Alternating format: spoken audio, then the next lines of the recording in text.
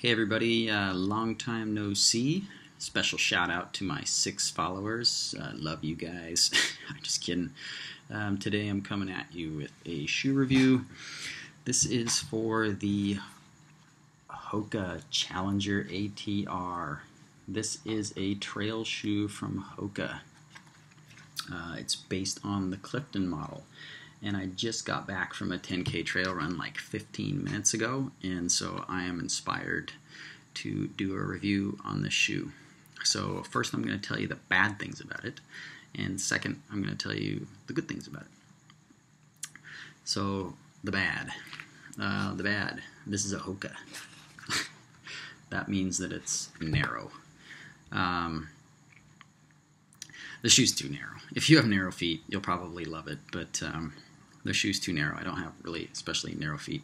So uh, you'll see that I pretty much have this shoe skip laced all the way up and that helps to uh, give more space in the shoe.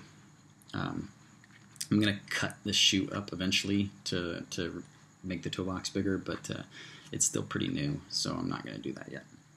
Um, I guess the good thing about uh, this upper on this Hoka is that this this mesh material they use is actually pretty nice and soft, and these these welded inlays are very flat and smooth and stuff, and they don't rub you weird in any particular place. So it's narrow and it kind of squeezes a little bit, but uh, the upper is a decent material, so it doesn't really doesn't really do anything bad to your foot. Uh, the second thing that's awful about this shoe is the factory insole is crap it's basically like this paper thin, worthless, flat thing. It's no good. I pitched that thing after like uh, 20, 40 miles, something like that. And um, I put in um, an aftermarket insole that was um, a lot more foam, a lot more cushy. It's going to make this thing super cushy, super cushy shoe. So anyway, that uh, I have a low volume foot, but that uh, thicker insole, more supportive insole, whatever it was, um, gave my foot more volume, and so it actually made the shoe tighter. So I had to take it out. And uh, how I end up compromising is um, I took a insole out of a Brooks Ghost. And I've run a lot of miles in the Ghost, and the shoe fits me pretty well, works pretty well for me. Uh, just doesn't last very long. But anyway, um, it has a, a, nice shape to it, and it just it just contours from to my foot real well, and it made the Hoka um, contour to my foot real well. Made it um, a lot more confidence inspiring. So anyway, I mentioned the low volume. If you have a higher volume foot, like a really kind of thick fat foot, or like a high um, high arch or something, this shoe might not have enough volume for you. Um, I don't know. You have to try it for yourself. I could be wrong. Um, the last thing is the uh, tongue, and this is not a problem for some people, and it I don't particularly like it, but so I'm just giving you my opinion. I don't like this unpadded tongue. They've addressed this problem in the new uh, Clifton 2 shoe, um, but this tongue I kind of had to like lace it a bunch of different ways to try and get it to work right? It seemed like it kind of slipped a lot and slipped down, and then when you tie it up, it kind of bunch up and stuff. So, anyway, I think it's kind of a crappy tongue. So, anyway, on to the good. Uh, it's slightly flexy. Um, anyway, I do believe that this shoe promotes very good biomechanics when running. I have a very nice forefoot strike in this shoe. And I would uh, say the feeling of this shoe is like like running in it and landing on it.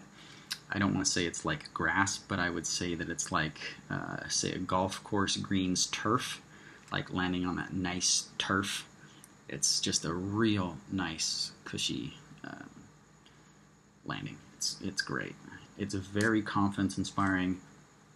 Um, you would think a shoe with this much foam would be unstable or something, but uh, the guys at Hoka got it figured out because this shoe runs really well, and I mean that. I'm not paid to say that, do anything. This shoe runs really well, and and I feel really good when I'm running in it, especially on the trail. I like some of their other shoes better for uh, asphalt, but um, when I'm kind of trail running on this shoe, uh, it feels good, and that's why I'm doing this review because I just ran in it, and it felt good. So, uh, like I said, it's very cushy, um, and it's just confidence inspiring. I mean, if you got 130 bucks in your pocket or whatever, I think this costs. Um, you might give it a try, especially if you're if you're running on trails and stuff. It's uh, I have 150 miles in it now, probably good 120 of those maybe are on uh, asphalt. Um, this shoe's not really meant for that, but uh, the rubber is actually holding up um, pretty well, especially in the front. I run a lot of hills, and so I get a lot of downhill stuff that shaves the back of my shoes off pretty quick. But um, this area right in here, uh, it's it's not really wearing and and the rocks around here are really really really sharp. So um, anyway, I give uh, this uh, Hoka Challenger ATR a pretty big thumbs up. It does have some problems that I don't like, but um, the the solid good points about this shoe outweigh those negatives, and there there are actually some pretty big big negatives, but um, it's a great shoe. I actually like it, so. Um, I'm going to do a few more shoe reviews, hopefully for you guys. I always say I'm going to do more videos, and then I'm never motivated to do them because I really don't care about making videos. But um, I know people enjoy them, so I'll try and make some more. I got a couple more Hoka shoe reviews that I can probably do. Um, so anyway, that's it for now. Uh, I'll put a link down below. I don't know, it's probably cheaper on Amazon or something, so I'll stick a link down below. Um, anyway, Hoka Challenger ATR. Go give it a shot. Catch you guys next time.